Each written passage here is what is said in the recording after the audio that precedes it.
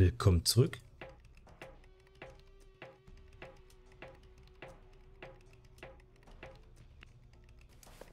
Hey, da ist Donners Fernbedienung. Und die beiden übrigen Datasetten. Ich lege schon mal eine ein. Hm.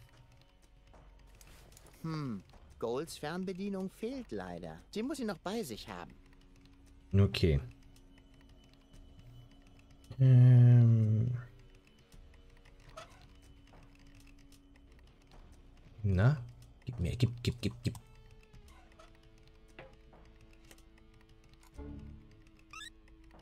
Oh, hey. Psst, nicht so laut. Hey. Wir haben ein Problem. Naja, also zwei. Einhalb. Eigentlich drei. Ich habe lange nicht mehr nachgezählt. Was ist denn los? Siehst du diesen Klitis da hinten? Nur verschwommen. Irgendwas ist mit meinen Augen. Huch. Oh, guck mal, Rufus. Ich bin Donner. Ich weiß. Verfüttert ihn an die Haie. Bäh. Sehr schön. Können wir uns kurz auf das Problem konzentrieren? Klar, leg los. Klitis ist drauf und dran, mit Lady Goal nach Elysium zu verschwinden. Und jetzt fummelt er auch noch an den Bombenkontrollen. Ich glaube, er will die deponianische Bevölkerung ausrotten. Dann gäbe es nämlich keinen Grund mehr, Deponia zu verschonen. Boah, fies. Ich kann es kaum glauben. Wir müssen Lady Goal davon erzählen. Könnte schwierig werden, sie zu überzeugen. Probieren geht über Sinieren. Das habe ich von dir gelernt. Okay. Tja, sie hatte einen brillanten Lehrer. Wenn sie nur halb so gut mit Menschen umgehen kann wie ich, dann... Hm, Vielleicht sollte ich ihr besser nachgehen. Nur zur Sicherheit. Darum ist Klitis der Gute und Rufus eben nur... Na, Ladies? Rufus, was tust du hier? Ich weiß, du hast mich vermisst. Aber wir haben jetzt keine Zeit für Versöhnungsjam-Jam. Wofür? Hat dir Baby Gold schon alles erklärt? Ich wollte, aber offenbar habe ich einiges durcheinander bekommen. Lady Goal hat mir gerade erklärt, warum man dir nicht trauen kann. Was? Aber du solltest doch Lady Goal umstimmen, nicht umgekehrt. Ach ja. Das war dein Plan? Ich würde ja sagen, lass dir etwas Besseres einfallen. Aber am Ende verstehst du das noch als Aufforderung. Tu ich auch. Nicht streiten. Keine Sorge, Baby. Lady Gold ist kurz davor, ihren Irrtum einzusehen. Ich habe meinen Irrtum eingesehen. Du bist der Irrtum. Und auch Baby Goal ist nicht ganz so naiv, wie du glaubst. Ja, ja. Aber, Nanu, ist das etwa ein lustiger Schmetterling da drinnen? Ein Schmetterling? Dir sind wirklich alle Mittel recht, oder? Tja, this is my way. Dein Weg führt nur von einer Katastrophe in die nächste. Vielleicht ist das der richtige Weg für Krawall Goal. Meiner ist es nicht. Hör mir doch erstmal zu. Warum sollte ich? Du hörst mir ja auch nicht zu. Ich gehe mit Klitis. Sei froh, dass ich dir nicht den Organon auf den Hals hetze. Ich gebe dir drei Sekunden, um von hier zu verschwinden. Sieh es als Abschiedsgeschenk. Aber Goal, Eins, ich... zwei. Klitis nützt dich nur aus und wenn du von oben auf meinen brennenden Kadaver hinabschaust, wirst du einiges von dem, was du gesagt hast, sehr bereuen. So. So, und nun? Äh, Tür. Ganz leise. Verdammt, abgeschlossen. Wie soll ich ihn denn nun mutig von hinten erledigen? Ich mache ihn lieber nicht auf mich auf. Noch nicht. Okay. Okay, okay. Hey, Baby, Donna Goal. Huhu. Meinst du, du könntest doch mal mit Lady Goal reden? Na klar, sie wollte mir eh gerade ein paar sehr interessante Sachen über dich erzählen. Ah, nicht mehr nötig. Klar wie Clubsoda. Was auch immer das ist.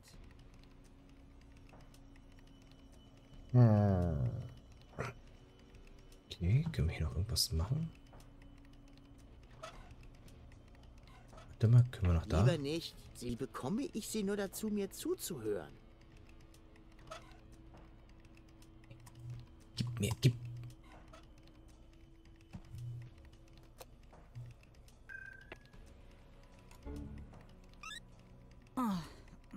Langsam habe ich wirklich genug von diesem verdammten Implantat. Alles okay? Geht schon. Gibt's eine Zusammenfassung? Wir sind in Argos Bombenkontrollturm.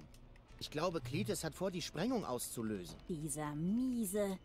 Und wo ist Donnergoal? Um genau zu sein, bist du jetzt Donna Goal. Uh, Lady Goal hat deinen Körper und steht draußen auf dem Balkon. Sie glaubt immer noch, Klitis ginge klar. Vielleicht kannst du ja mal mit ihr reden. Auf sich selbst hört sie vielleicht. das musst du mir nicht zweimal sagen. Zum Glück weiß ich genau, wie man mit widerspenstigen Pfauen redet. Das habe ich von dir gelernt.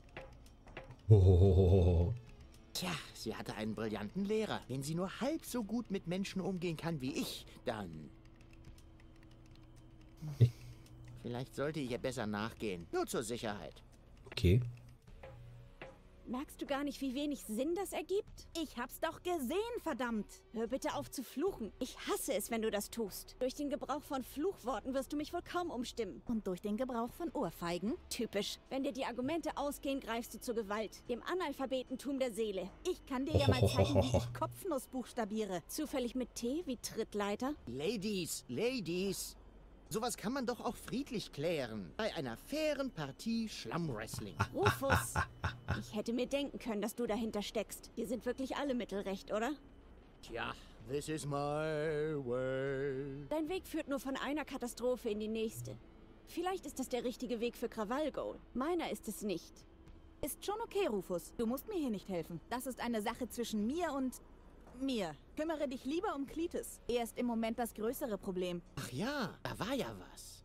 So, wo war ich stehen geblieben? Dem Geruch nach zu urteilen in einer Jauchegrube. Was?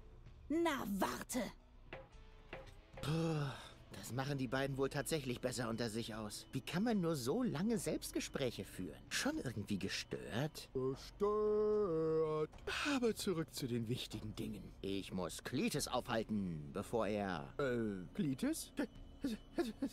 Wo ist er hin? Hm, Golds Fernbedienung fehlt leider. Sie muss ihn noch bei sich haben. Okay.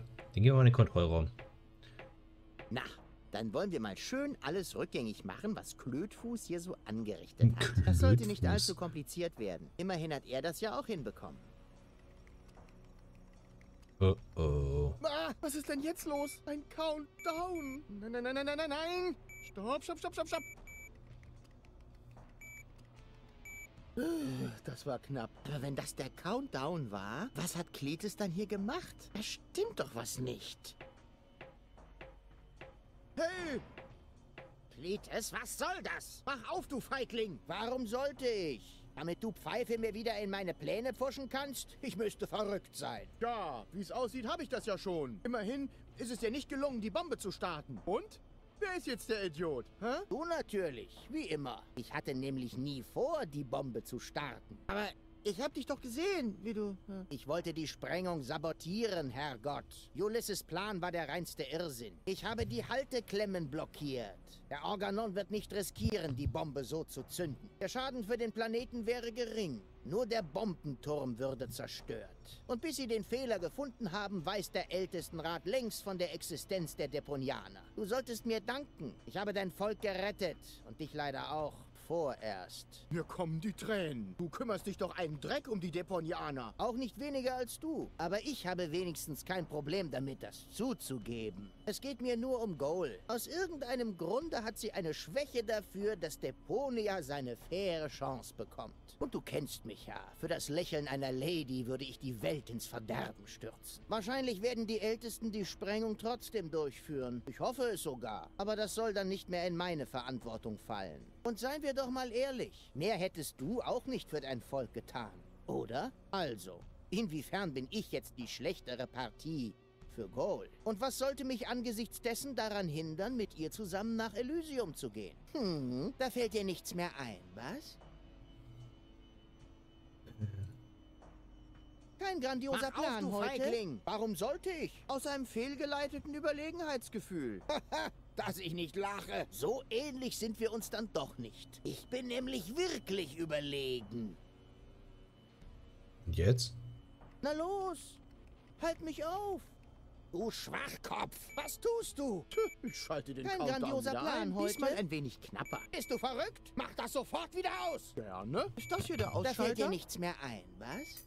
Hoppla. Ach, was bin ich heute ungeschickt. Ich wünschte, es wäre Oh, jemand hier drin, der sich damit auskennt. Aber du musst ja leider schon gehen, nicht wahr? Du miese Kanalbazille. Was hast du wieder angestellt? Mal sehen. Vielleicht kann ich die Steuerung überbrücken. Bete, dass das hier klappt. Dieser Verräter. Da fällt dir nichts mehr ein, was?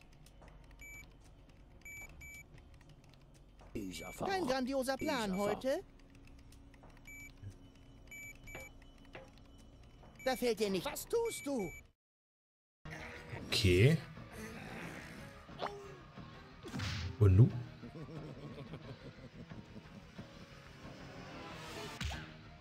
Oh.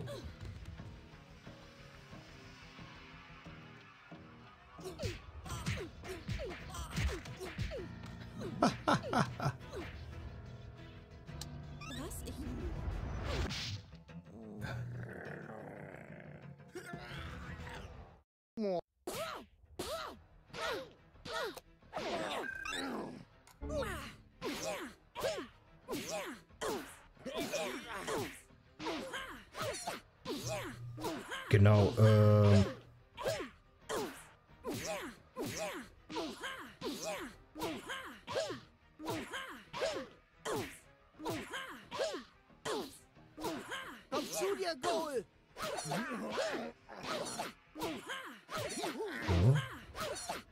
Das wäre jetzt keine gute Idee.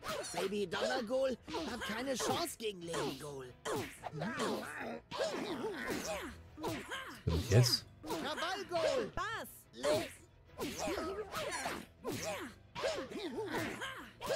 Nun, kann ich noch irgendwas anderes machen? Das, das, das. Verklopp ihn, verklopp ihn.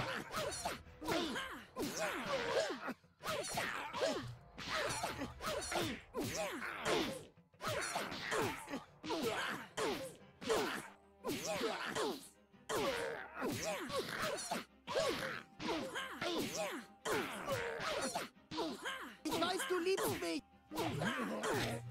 Gib mir noch eine Chance! Nein.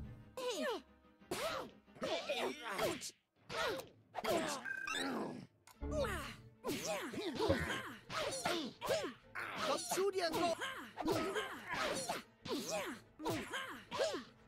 Ja komm, verprügel ihn. Was muss ich denn jetzt tun? Ich weiß, du liebst... Lady Goal hat noch ihre Fernbedienung. Na und? Komm. Hier, nur das. Schnapp dir die Fernbedienung. Nein! Hey! Jawohl. Hab sie! Und nun? Gib mir noch eine Chance. Komm. Nimm das, Schocke. Aufdrücken. Drück auf die Fernbedienung. Nicht! Du! Äh, Ich Flattertüten? Stech dir in die Augen aus!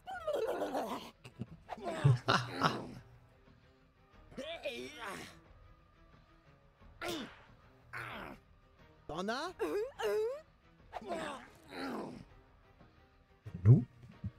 Verprügel ihn. Verprügel ihn einfach. Verprügel ihn. Äh.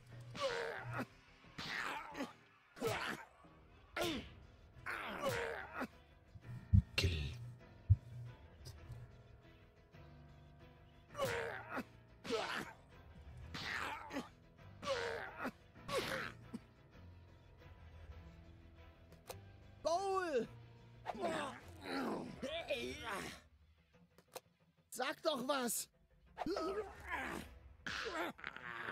Hab sie! Fehler! Ah,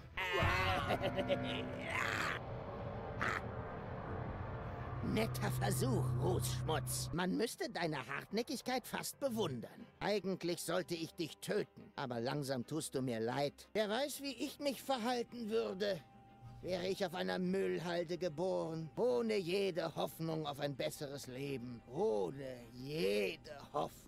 Ich würde dir ja gerne den Gefallen tun, deiner nutzlosen Existenz ein Ende zu setzen. Von alleine würdest du niemals aufgeben. Ein kleiner Tritt nur. Aber das ist leider unmöglich. Du hast dann nämlich etwas, das mir gehört. Okay. Hm. Zum letzten Mal. Gib mir diese gottverdammte beschissene Fernbedienung. Ich weiß. Du brauchst die Aufstiegscodes, nicht wahr? Was soll das werden, Schlauberger? Du weißt genau, was ich will. Hier geht es gar nicht um Goal, oder? Verplempere nicht meine Zeit, du Freak. Gib mir jetzt die Fernbedienung, oder wir fliegen alle in die Luft. Die Bombe tickt. Upsi! Nein! Du hirnverbrannter Okay. Volltrottel! Ich sollte dich... Goal! Das war ja... Wow! Gut gemacht!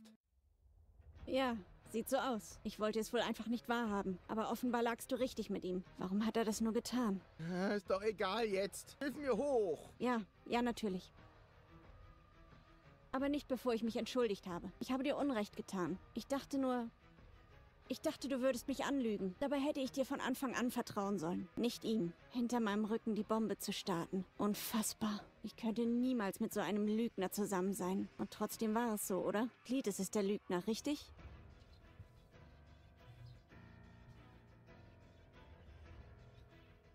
Oh Gott, äh, ja. Ja, Cletus hat... Was? Mich angelogen? Rufus!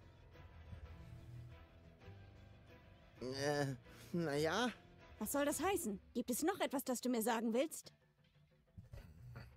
eine Sache wäre dann noch. Was? Ich muss alles wissen. Ich weiß, der Zeitpunkt könnte günstiger sein. Aber nur wenn du mir alles erzählst, kann ich dir wieder vertrauen. Und ich will dir doch vertrauen. Komm, Ähm, Da ist doch irgendwas. Raus damit. einfach ehrlich sein.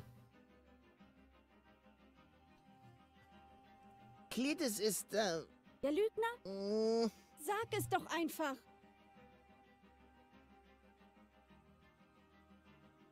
Ähm,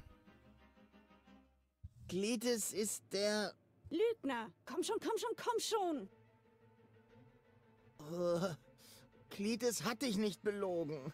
Was war das? Er hat die Zündsequenz nicht gestartet. Das war ich. Du? Heißt das etwa, Cletus hat mich gar nicht verraten? Ich habe ihn vollkommen zu Unrecht niedergeschlagen? Ja, irgendwie schon. Aber dass ich dir die Wahrheit sage, zeigt doch, dass ich hier der Gute bin. Oder? Nein. Es zeigt lediglich, dass der bestmögliche Rufus immer noch schlechter ist als Cletus. Goal! Goal, lass mich nicht hängen! Ich hab dir doch alles gesagt! Goal!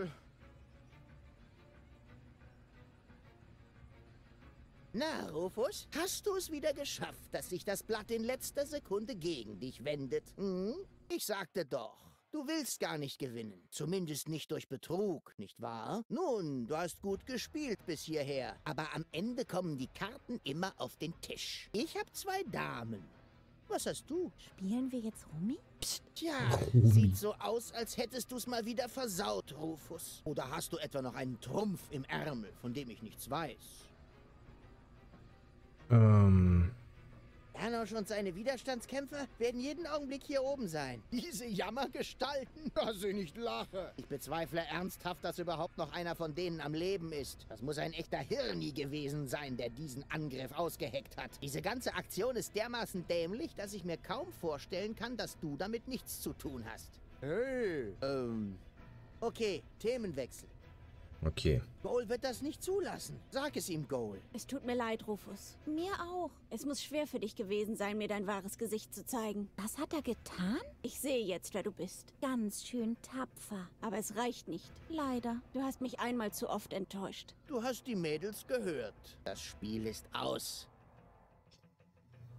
Hältst du das hier für ein Spiel? Es geht hier immerhin um einen ganzen Planeten voller unschuldiger Menschen. Jetzt hör schon auf mit deinem quasi moralischen Blödsinn. Es ging dir noch nie um die Menschen. Es ging dir darum, das Mädchen zu bekommen. Und was, mein Freund, unterscheidet dich dann noch von mir? Vielleicht die Tatsache, dass ich kein arroganter Schnösel bin? Genau. Du bist der schmutzige Underdog, der Außenseiter aus der Unterschicht. Aber der bist du nur, solange du immer wieder verlierst. Du kannst nicht gewinnen, ohne genauso zu werden wie ich. Genauso wenig wie du auf Elysium leben kannst, ohne Deponia zu zerstören. Es gibt kein Szenario, in dem du gewinnst.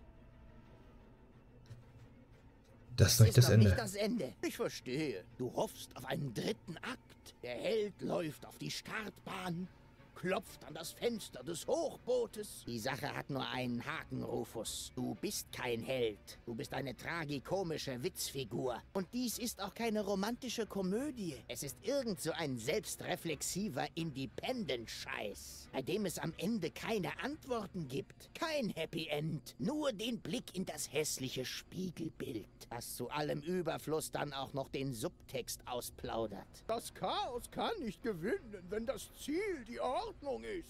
Irgendwie sowas. Ich habe noch die andere Fernbedienung. Dir fehlt noch eine Dame für dein Full Goal. Die kannst du gerne behalten. Das Spiel ist vorbei und der Hauptgewinn reicht mir. Zwei wundervolle, bildschöne Frauen. Eine rechts, eine links und ich in der Mitte. Ihre reinsten und nobelsten Eigenschaften endlich wieder vereint. Mehr als genug Goal für einen maßvollen Mann wie mich. Du hast nur eine dumme Datasette mit Goals geistig-moralischen Kinderkrankheiten. Sie ist ungehobelt, trotzig, streitsüchtig. Das komplette Chaos. Wie Rufus. Genau. Vollkommen nutzlos. Ähm, du weißt schon, dass du da von mir redest, oder? Was denn? Wenigstens bin ich ehrlich. Das gefällt dir doch so an mir. Ja. Ja, du hast recht. Aber es ist ein Teil von dir, Goal. Ohne ihn bist du nicht komplett. Das ist uns vollkommen wurscht. Ich habe die besseren Goals und die Aufstiegscodes. Wir sollten jetzt endlich den Countdown hochdrehen. Abschalten kann ich ihn ja nicht mehr. Danke, Rufus. Dafür wird die Explosion gerade mal den Turm selbst betreffen. Danke, Cletus. Weil ich ein Gentleman bin, gebe ich dir und deinen Rebellenfreunden genug Zeit, euch aus dem Staub zu machen. Das ist doch das, was ihr am besten könnt. Leb wohl, Rufus. Du warst vielleicht kein würdiger Gegner, aber ich bin ja Kummer gewohnt. Nein, das kannst du nicht tun. Cletus, Goal gehört zusammen. Ich... Ah, ah, das wird langsam anstrengend hier. Äh, äh. Auch das noch?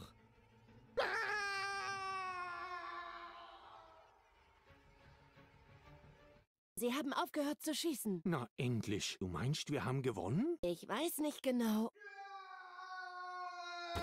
Aua. Ruwusch, alle mal aufgepasst. Es ist Ruwusch. Hurra. Janusz. Ihr lebt. Natürlich leben wir. Was dachtest du denn? Wir müssen so schnell wie möglich von hier verschwinden. Der Turm fliegt gleich in die Luft. Dann lass mich schnell alle zusammentrommeln. Vergesst mich nicht.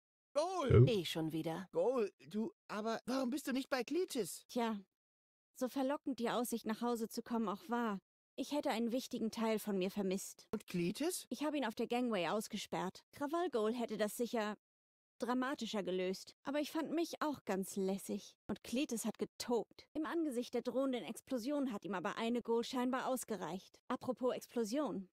Wir sollten keine Zeit verlieren. Aber was ist mit dir? Ich meine, was ist mit deinem dritten Teil? Wirst du Baby Goal nicht auch vermissen? Tja, ich habe da noch was gefunden auf dem Weg hier runter. Hm.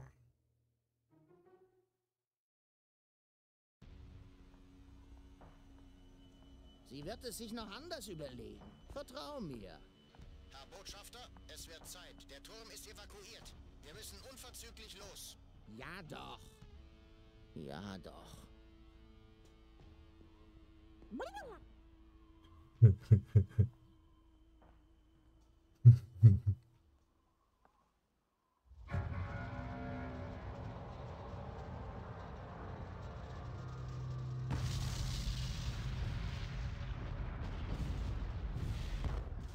Ich wusste übrigens, dass du zurückkommst. Das wusstest du nicht. Wusste ich doch. Ich kann auch wieder gehen. Wirst du aber nie. Argus Plan zunichte und Schluss der Geschichte.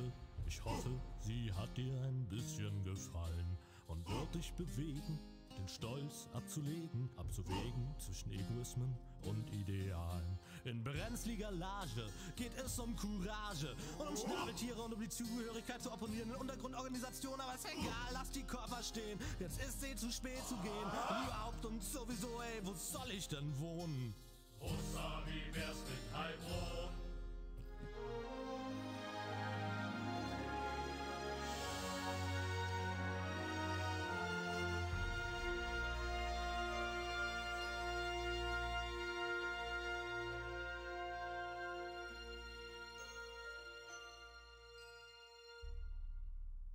Not the end.